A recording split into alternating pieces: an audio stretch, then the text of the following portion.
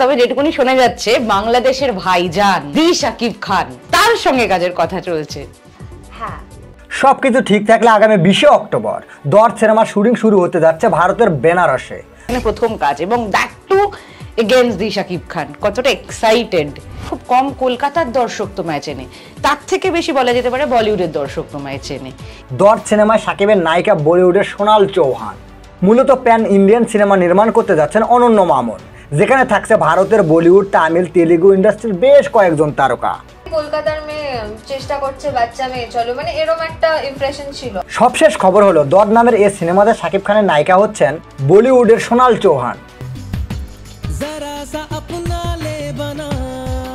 সম্প্রতি এই সিনেমায় চুক্তিবদ্ধ হয়েছেন তিনি। বিষয়টি নিশ্চিত করেছেন সিনেমার তিন প্রযোজনা প্রতিষ্ঠানের অন্যতম কলকাতার এসকে মুভিজ। দর্দ মুভিটি পুরোপুরি সাইকো থ্রিলার ধাঁচের গল্পের সিনেমা হতে যাচ্ছে। ভারতের উত্তরপ্রদেশের শাহী রাজপুত পরিবারের মেয়ে সোনাল চৌহান।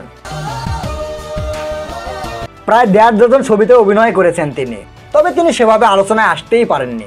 প্রভাস অভিনীত আদিপুরুষ সিনেমাতে অভিনয় করেছেন তিনি। সিনেমাটি বাংলাদেশের চলতি বছরের জুনে মুক্তি পেয়েছিল। তবে সেটা সুপার ফ্লপ। বিনিয়োগের অর্ধেকই লোকসান হয়েছিল।